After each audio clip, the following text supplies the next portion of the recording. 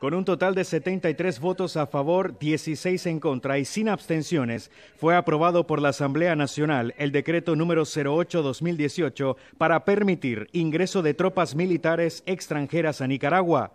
El decreto aprobado este viernes permite el ingreso a Nicaragua de equipos, naves y aeronaves extranjeras para que éstas puedan realizar maniobras militares y misiones humanitarias en conjunto con efectivos del ejército de Nicaragua. El decreto fue enviado con carácter de urgencia por el presidente de Nicaragua, Daniel Ortega.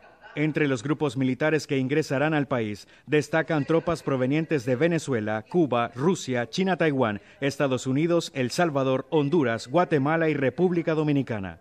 En el decreto también se establece que personal del ejército de Nicaragua pueda salir del país para realizar ejercicios militares y capacitaciones en países como Rusia, Panamá y México.